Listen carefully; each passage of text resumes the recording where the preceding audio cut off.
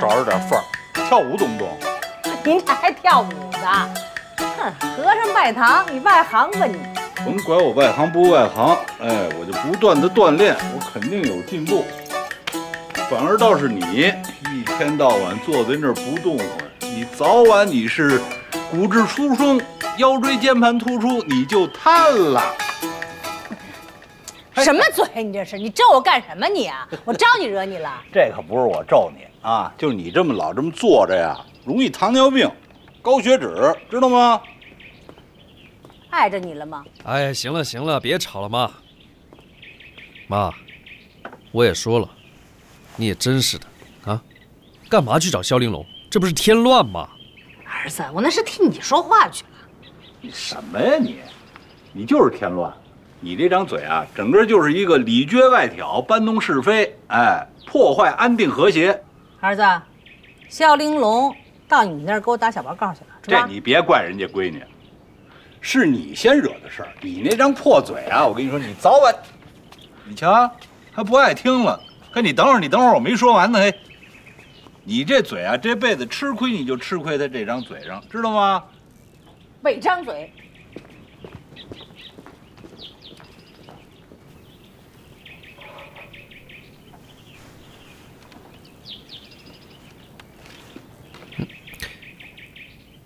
哎，怎么是你呀？你说怎么是我？哎，张可明，我问你，你是不是不打算娶肖玲珑了？怎么，打抱不平啊？想打我啊？打你！我告诉你啊，要不是肖玲珑告诉我，我要动你一下，他不认我这弟弟，我早就让你进那个重症监护室去了。于海，我都跟你说了多少次了，这个拳头是解决不了问题的。问题非常简单，如果说我草率的做了一个决定。你认为我对得起你姐姐吗？可你现在知道吗？是肖玲珑已经草率做一决定了。他怎么着了？她现在要跟别的男人相亲去了。什么？催一催深圳每家订单公司的款，因为最近我们公司的资金需要回笼。嗯。无论如何，今天要把账给做出来，因为新厂筹备区需要用钱。一会儿高总就要开新厂筹备会，公司资金状况。先不要告诉他。我明白。嗯。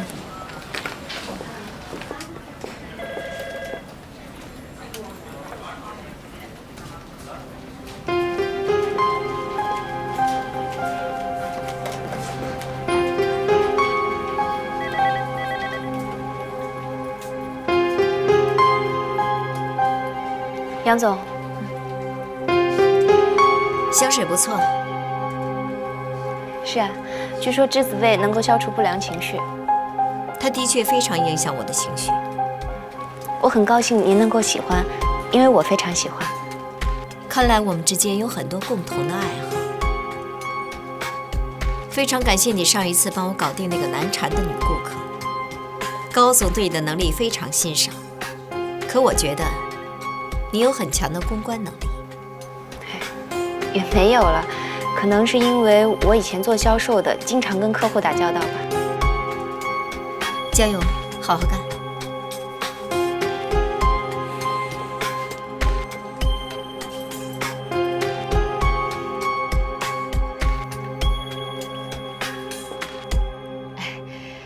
玲珑啊，我和你妈妈呢是老同学了哈。呃，咱们有什么话就直说，啊。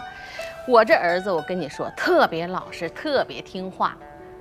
你们两个呢，从此以后就好好相处。到了年底呀，争取把婚礼就办了。陈阿姨，我们这才第一次见面呢，您说的也太快了点吧？哎呀，现在的年轻人不都讲闪婚吗？你放心啊，呃，咱们没有什么麻烦。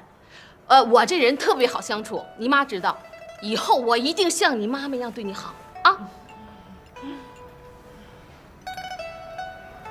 哎，你怎么不说话呀？你们说，我听着就行了。你们说，不是说要相互了解吗？你这不说话怎么了解呀？你就没有什么想问我的吗？嗯，你谈过男朋友吗？如果我说有，你介意吗？我个人认为，如果爱一个人的话，就不会介意他的过去。你好，我是你的对手，我叫张凯明。你好，你好。按照国际惯例，女人婚前任何男人都有权利公平竞争。你是谁呀？我是她的前男友。张凯明，你到这儿干什么来了呀？阿姨，您别担心，我不会破坏玲珑的幸福的，因为我爱她，我尊重她的选择，哪怕她不选择我。老同学，你太不像话了吧！姐，你误会了，这个完全是突然的情况，这我也不知道他要来的呀。凯明啊，我们玲珑都跟你分手了，哎，你不要再到这里来纠缠他嘛。如果玲珑跟我分手了，我想他会亲口告诉我，而且我相信他有他的判断和选择。婚姻不是儿戏，爱情更不是，您说呢？我觉得这位先生说的非常正确。嗯，我祝福你们。谢谢你啊！哎，得得得得得，别说了，谢什么谢呀？我谢谢你们，幸好没让我儿子跟你。走，走，儿子。不是陈杰，你别生气。陈杰，这不是。哎呀，这是什么事儿啊？这是。张凯明，你存心到这里捣乱是不是啊？啊？阿姨，我不是存心的，我是真心的，请相信我。呃，从今天起，公司的所有主力设计师把精力都放在与上海银润合作的这个秀场上。这次秀场的主题是情感蜕变。啊，我是希望能够通过我们的设计来表达出一个女孩子从情窦初开蜕变成一个成熟魅力女人的全过程。高总的设计好 sexy 哦。呃，与其说性感，不如说感性。呃，现在的女性时装设计往往着眼于性感，其实我觉得，女人的性感不在于三维的不同，而在于内心。如何将一个女人内心情感的变化通过时装语言来诠释出来，这是我们的最大难点。这属于剑走偏锋。我喜欢这个词儿，始终呈现新的理念才是真正的时尚。我不知道大家是不是跟我一样充满信心。我有信心。那下面我宣布一下，进入这次秀场的第一梯队的设计师名单：Tony、王小颖、康璐、崔月。有问题吗？高总，我能不能协助我的师傅 Tony？你这孩子太不懂事了。你该干些什么，我自然会告诉你的。呃，好，这样正好我们也需要一个助理。这样，你除了协助东尼之外，作为这次秀场的助理，全程参与，OK？谢谢高总。好，大家忙吧。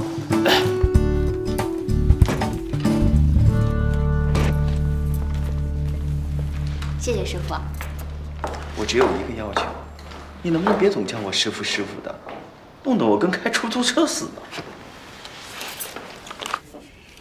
杨总，有些话我实在是不知道该怎么跟你说。金华，润和刚一成立你就来公司了，这么多年，我跟你之间无论是于公或者是于私，都应该是无话不谈的朋友。是，所以说跟您在一起时间长了，见的人多了吧，觉得自己眼睛也毒了。那个出征，我第一眼见他就觉得。他不简单，那一双大眼睛忽闪忽闪的，跟闪光灯似的，啪啪的拍的全是男人。你什么意思？我那天吧，跟高总在您办公室找一份资料，这丫头进来了，说是找您，他又说找高总也行。他说什么了？我倒是想听啊，可是人家丫头好像是一副不方便的样子。我寻思，那我就先出去吧。结果出去再一进来，就看见，看见什么？这丫头送送高总一个礼物，我就琢磨啊，你说她刚来的一孩子，她跟高总能有什么事儿，还得送礼？你说是吧？没事儿，刚一进来的员工想拍拍老板马屁，也正常。嗯嗯，是。不过杨总，跟你说现在很多小姑娘啊，她都是热羊皮，她一见着成功男呐，甭管你是有老婆没老婆，她都敢往上招呼。我觉得你与其这样天天防着他，不如找一个由头给他开了算了。有我在公司呢，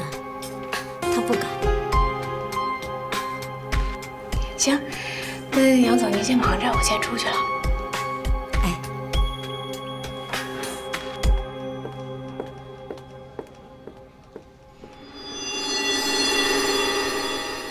玲珑，你知道吗？当我就要失去你的时候，我悟懂了一个道理：恋爱呢，就两个结局，要么各回各家，各找各妈；要么呢，把你妈变成我妈。你满意了？你辩护成功，让我妈败诉了。你说这里是法庭，可于海说这是一场赌局。不过我很庆幸，我还是赢得了你。我讨厌你这种莫名其妙的自信。你怎么知道你就一定能赢呢？你不过是帮我破坏了一场相亲而已。反正那个男的我也没有看上。不过全中国有好几亿男的，比你强的多了去了。除了已婚的、年纪小的啊，烂泥扶不上墙的，我想所剩无几了吧。我估摸着估摸着，我这一款应该是你最合适的。我花了三年时间了解你，自私，好的，自负，好的，好大喜功，好的，吃饭挑食，好的。对了，还有，上厕所经常忘了冲水，对吧？嗯，家里还就一个四合院吧，还被你爹妈分成了两家人。你嘴上冠冕堂皇地说着要什么事业有成，实际上，你是在拿我的青春赌你的明天。可谁又知道你的明天是什么样的？张开明的天是晴朗的天，张开明的玲珑好喜欢，好喜欢啊，好喜欢，好喜欢，好喜欢。玲珑，你还记得吗？这是我们第一次约会的地方，也是我第一次握你的手，第一次吻你。那是我的初吻，你是我的第一个男人。希望是最后一个，好吗？嫁给我。我不太喜欢开这样的玩笑，我会当真的。我是认真的。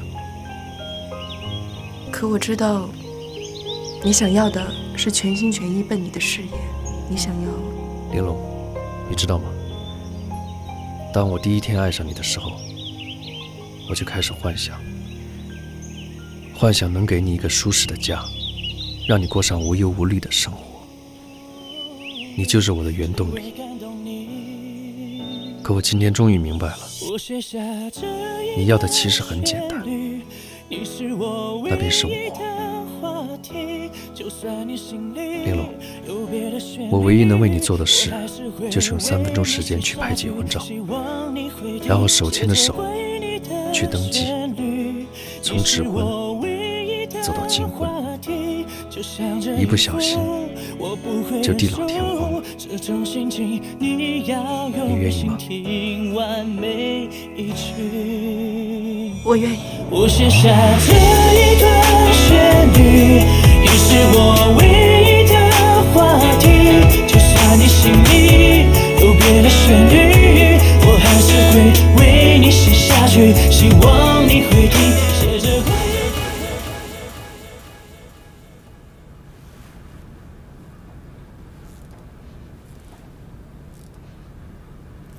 呃，陈小姐，呃，通过这段时间的接触，我觉得你很喜欢蓝色，但是我觉得你也可以有一些突破，尝试一下其他的颜色。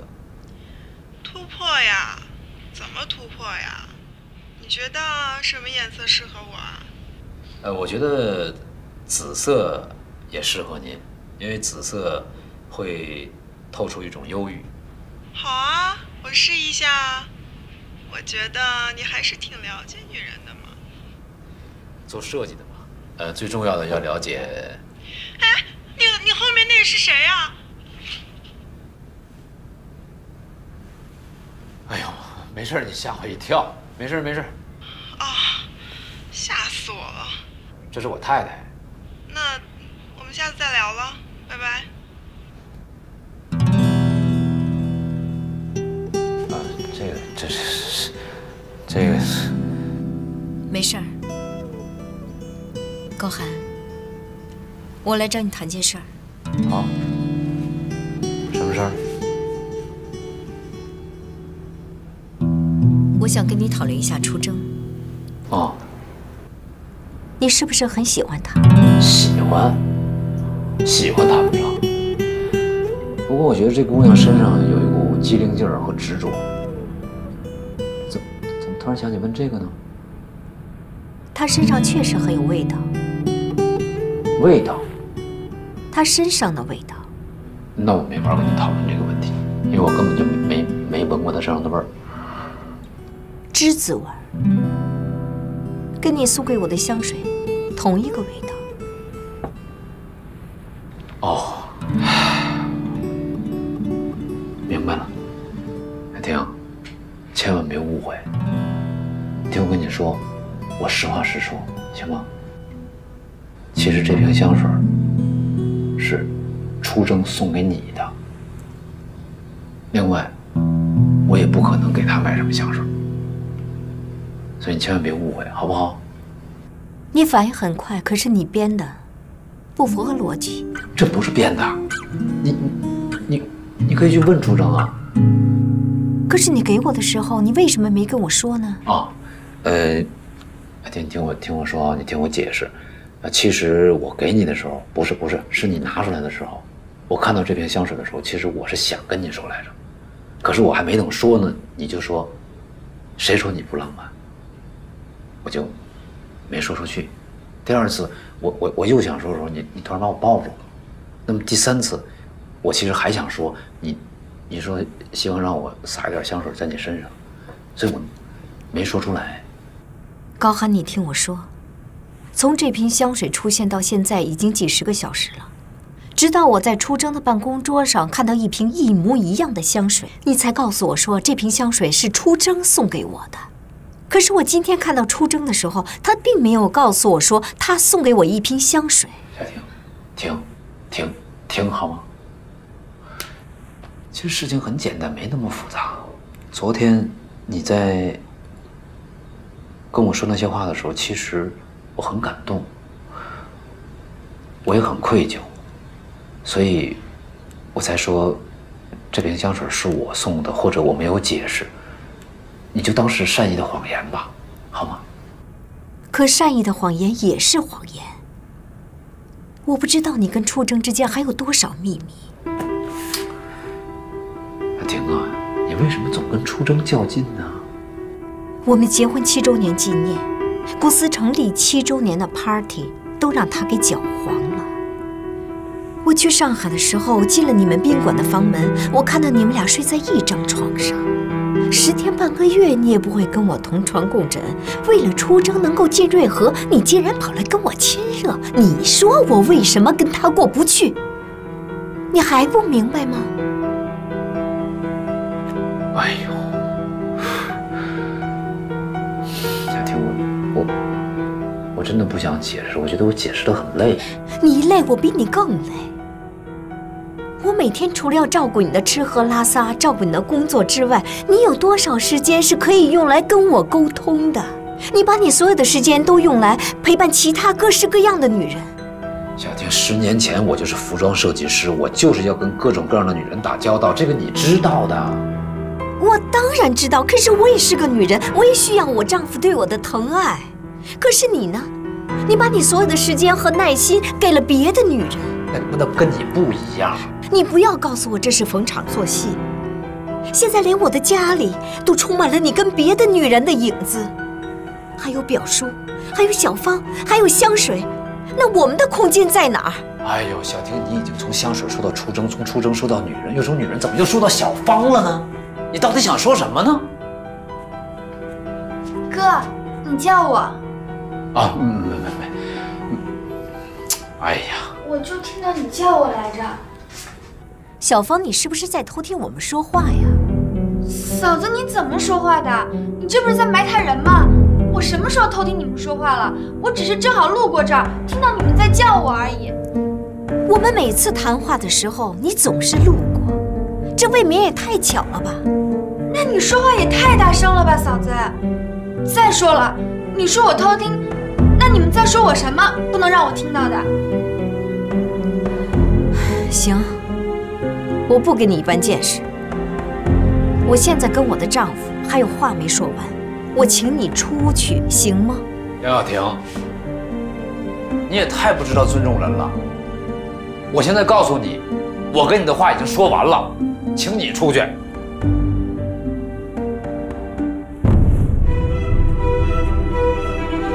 哥，你说说你，咱们村白着你的女孩那么多，你都不要，你偏偏娶了这么一个女人，一大把年纪了，不生不养不说，还不会照顾你，竟然……行了，你也出去。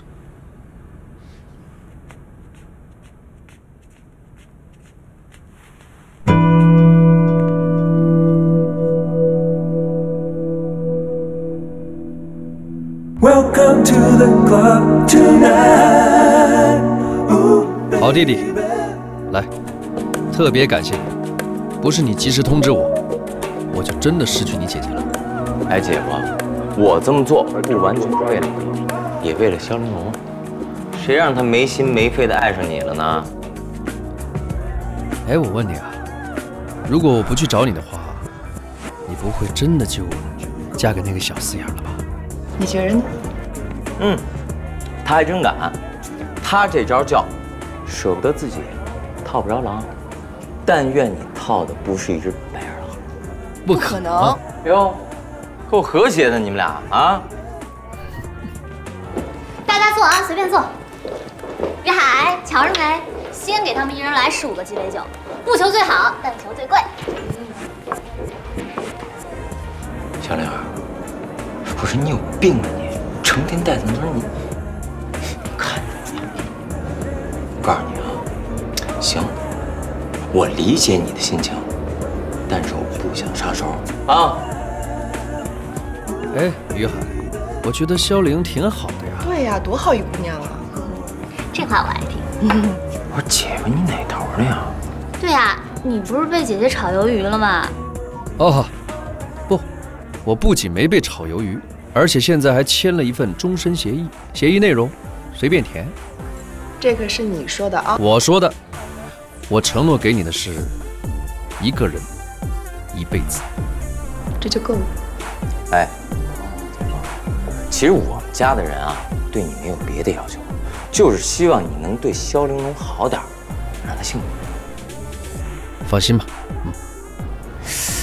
姐夫，那个，你该履行你的承诺了吧？什么承诺？那你的女人都找着了，我的呢？你们说出征呢，是吧？对，怎么了？我没关系，你们随便说，反正你就这么一个心结，早晚都得解开。姐，我求求你告诉我吧，初中在哪儿啊？我真的不知道他在哪儿。就算是我知道了，又能怎么样呢？他还是不愿意见你。那都过去了啊。肖雨海，说实话，你找也找了，等也等了，就算你等到死啊，这杯酒也不属于他。你干嘛？你给我放下！不放，你放下！我不放。怪不得你不给别人调这酒，原来这酒是属于你们俩的。你在这工作也是为了等他，是吧？灵儿，你想多了，那是过去的事儿了。对，对我在这就是因为他，怎么了？你太过分了，肖雨海！你说你喜欢这份工作，我才帮你的，没想到你是为了守株待兔，而且兔子还不是我。我要跟你绝交！行啊，那感情好，不送啊，赶紧走。哎，哎，玲儿，别拦着他，让他走。肖玉海，你有病吧？啊！你能不能别这么较劲啊？就算是初衷伤害了你，你也不能伤害别人呐。我就是有病了，我就抽风了，怎么了？哎，好了好了，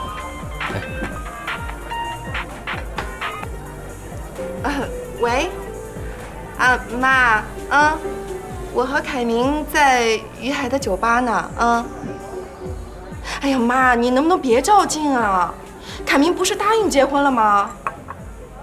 喂喂，怎么了？阿姨生气了？他离家出走了。出走？哎，出走你怎么不着急呀、他去他那儿了。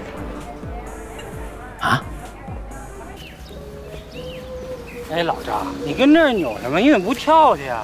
不跳，等我舞伴儿。老张，老张，我舞伴来了。哎，师傅，师傅，哎，对不起啊，让你久等了。我这昨天晚上住我儿子那儿了，所以离得比较远，来晚了没事。没事，你来了，我心里就踏实了。来吧，老张，我今儿没心情，不想跳。没睡好吧？不是，我心里面窝着气，心口窝疼得慌。那得，那咱就不跳，坐这儿陪你说会儿话，好吧？怎么了？愁眉苦脸的你？我跟你说，嗯你说我那闺女啊，自己搞了个对象，我看这小子不靠谱。嗯哎，这我就托我同学给他介绍了一小伙子。嗯，这个小伙子条件可真是不错呀。按照现在的那个时髦的话说呢，那就叫高富帅。可我闺女就死活看不上人家，非要跟这个胡同串子死心塌地的跟他跑。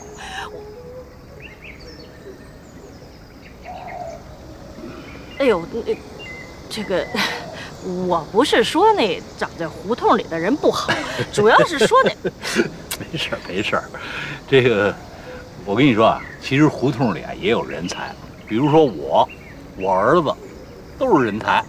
是是，我知道你们是相当优秀的人才。哎，老张，嗯，你儿子结婚了吗？没呢，不过快了。女朋友定了。嗯，哎呦，你说这现在呀，好男人都得预定。原本呢，我还想着把你儿子介绍给我姑娘认识认识，看来没缘分。他俩没缘分没关系，咱俩有缘分就行了啊。啊？那什么，呃，你今儿有事儿没事儿？今儿事儿是没什么大事儿，还不是我闺女那事儿吗？行了行了，这孩子们的事儿啊，他们自己弄去。这么着，我今儿请你吃饭，到家去，好不好？哎呦，这可不行！你不是你别客气啊，我跟你说啊，这个第一是吧，我得巴结巴结你这做师傅的是吧？第二呢，你看咱们俩都是为人父母，我好好开导开导你，这样呢你心里就能宽敞点儿。第三也是最主要的，我让你尝尝我的手艺，见识见识胡同里的人才。不 是这太麻烦了，这个你说你 行了行了行了，咱们就这么定了，好不好？哎呦，那我可就得恭敬不如从命了。这么着，回头我把那个地址发你手机上，特好找。我现在就回家准备菜去。哎，好好。高总，这是托尼老师新做的秀场文案，需要您赶紧看一下。你动作够快的，那我先下去了。处长。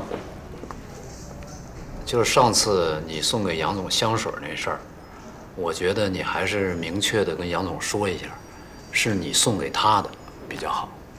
啊，我以为您跟他说了呢。啊，我也以为我跟他说就行了呢。啊，我明白了。可是高总，这样会不会？喂，芳，怎么了？你别哭，我马上过去。不好意思，你跟托尼说一下，这文案我回来研究，好吧？我得去一趟迈瑞医院，我叔叔那情况比较麻烦。迈瑞医院？对啊，我有一个好朋友在那做高级护师，我跟你一起去吧。走一块儿。哎哎，你别走！你别走，别拽着我，不能走！你拽我也没有用，我没有钱。可我爹就在你工地上受伤的，你得负责任。哎呀，你要这么说哈，我要钱没有，要命一条。你要是这么说，我还就不让你走了。凭什么？病人要是因为你的扯皮有个三长两短，你背的可就是人命官司。哎呀，别给我扯！哎，不许走，给我回来！这这这这这！你快点走！怎么了？高总，他们停了你叔叔的治疗费用，我觉得应该通知你本人，所以没有让他们走。你就是那个老高有钱的侄子。好了，人我交给你了啊。哎哎，干什么？什么话呀？什么叫人交给我了？我有没有钱跟事故没有关系，这件事情你们要负责到底，明白吗？哎呀，高老板，人是在工地摔的不假，但这也不一定是工伤啊啊，他人自己掉下去的，是吧？我都没让你们赔偿脚手架的钱，而且在医院还垫了一阵子医药费，你说这够仁义的了吧？这种话你也说得出口？你也太不讲理了吧！我怎么不讲理了呢？哎，你怎么讲理？你说的是人话吗？哎，我怎么说的不是人话呢？啊，你是干什么的？这？哎，你走开！哎哎，走开！处长，没事吧？哈，来。哎哎，干什么干什么？哎，高老板，我想打你，跟这位女士道歉，听见没有？哎哎，别别，松开松开，好说好说，我是给老板办事的。你给这位女士道歉，道歉，不道歉也可以。这是医院，进哪科室你随便挑，费用我出，明白吗？好好好好，好，对，对不起哈，对不起对不起，还不行吗？听着，回去告诉你们老板，这件事情我会追究到底，你们逃脱不了责任，明白吗？哼。副总，没事吧？我没事，看来也不用我介绍了，我闺蜜，我老板。哥，他们把医药费停了怎么办呀？这个你不用担心，我是医院的护士，我可以先去给你们做份担保。谢谢你，玲珑。不过可能还需要有一件事儿，请你帮忙。这件事情可能我要诉诸法律，所以我表叔的一些详细病例啊，可能到时候……哦，这个我懂，我会给你复印好的。哦，对了，她男朋友是律师，应该能帮上忙。回头我给你们介绍一下。好啊，我真需要一位好律师。哎哎哎哎，好，上学去啊！这这小子长这么高了，哎哎，哎，卖的还行吧？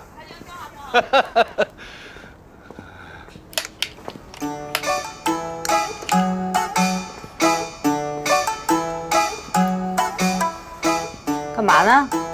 上我这儿视察来了？照顾照顾你生意，嗯，够冷清的啊！我跟你说啊，你得注意你这个经营思想，要不然挣不着钱。哟，我用着你教育我了啊？那想当初啊，我再怎么的也比你个退休工人挣得多吧？那想当初要不是我买断工龄的话，我跟你说，儿子上大学都没钱。你还真别这么说，上大学咱俩一人出了一半。哎呀，这男人吧就是这样，这算起账来特别不男人。要买什么呀？菜。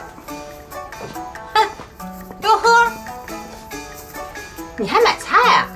我告诉你啊，我现在是顾客，顾客是什么呀？上帝。嗯，你对上帝态度好点。是上帝，你要吃什么自己拿啊。你拿多少啊，上帝？你吃得了吗你？我今儿请客，请一重要人物。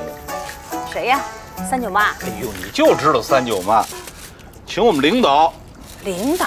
嗯，货运公司的吧？哎，那我跟你说，别在家吃了，不够档次。就是随便聊聊。那那什么，现金还是卡？先给我。记账，回家一块儿给你。哎，又给你张罗去吗？忙得过来吗？我已经约好凯明了，你等我一下，我进去换件衣服就哎，好，你去吧。哎，杨总，出征，你怎么在这儿？呃，我我是陪高总。你陪高总？呃，是高总遇上了点麻烦，我朋友是这儿的护师，所以我就……是因为高总叔叔的事儿。啊，这我知道。我就是送钱来的，可是在这儿碰到出征，我还是有点疑问。嗯，出征是想通过他的好朋友，看能不能帮助老板解决问题，而我呢，就是他的好朋友。这么巧？探视时间不多了，您赶紧进去吧。好。哎，杨总，嗯，嗯，我希望您不要误会。肖护士已经解释了，我不会误会，那是你想多了。啊，不是，我是说香水的事。本来我想亲手交给您的，可是您那天不在，我只好让高总转达了。这我也知道，我也让高总转达了我的谢意，可能他没有转达清楚我的意思，反倒让你给误会了。不管怎么样，谢谢你啊，出征，谢谢。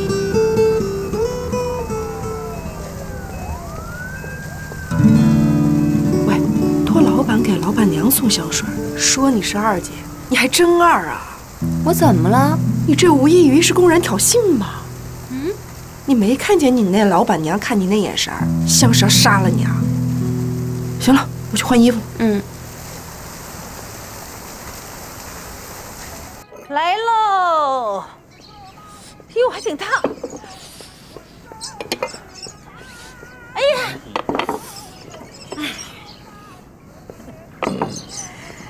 张建国，这回知道我价值了吧？你还别说啊，就是今儿这点事儿，嗯，没你还真玩不转。你不是说吗？要找一贤良淑德的，嗯，你怎么不让他帮忙啊？我真找着了，你怎么着吧？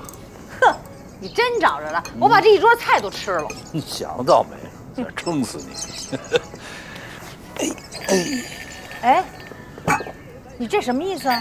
一块儿啊？一块儿啊？哎呀，张建国，你说的什么话呀？咱俩都离了婚了，那这我在这儿那就无照驾驶嘛。再说了，这又让你们的领导笑话呀。没事儿，你这领导啊人特好啊，呃，多才多艺，而且还特爱锻炼。他呀，去年丧偶，一直让我给介绍一老伴儿，就你了。张建国，你什么意思？这是啊？你拿我当什么人了？你跟你就得玩反间计。这种案子很麻烦，很多律师都不愿意接。我愿意接，赚钱呢就不用说了。对于一个新的律师来讲，这是一个非常好的机会。再说了，受害者是玲珑的病人，我就更得接了。那太好了，我帮你约时间，你跟高总面谈。好的，谢谢你啊，楚征。客气什么？大家都是一家人嘛。来。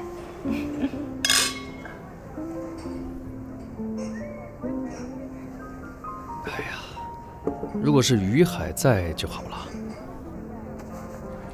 啊，也是哈。